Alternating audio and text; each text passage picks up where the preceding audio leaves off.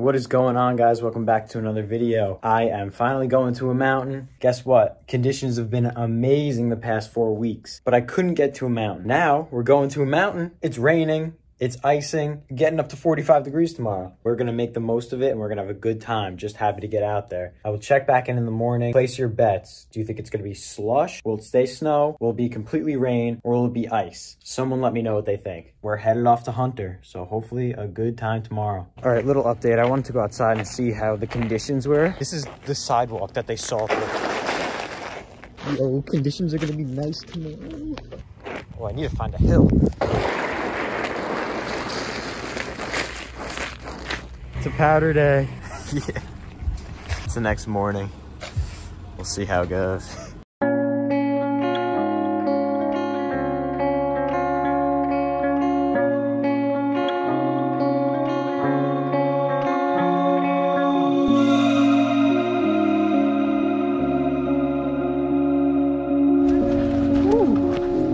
All right, I'm absolutely sweating. Thank God it's hot out because it was icing all night.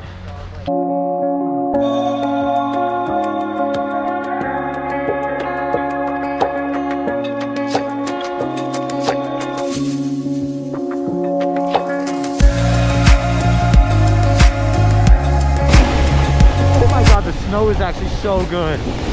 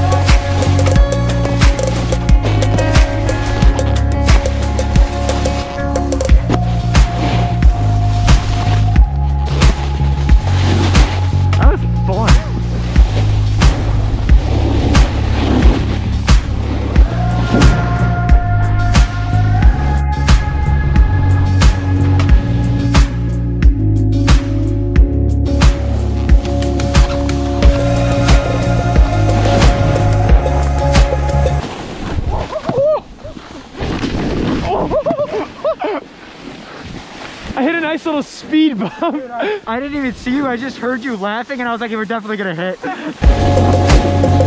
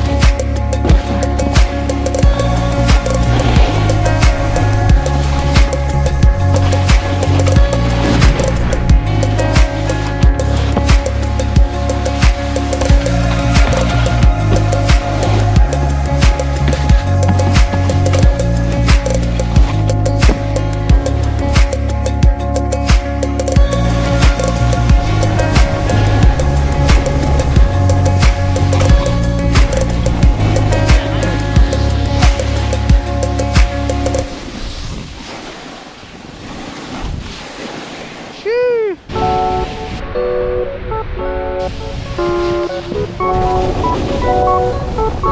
you.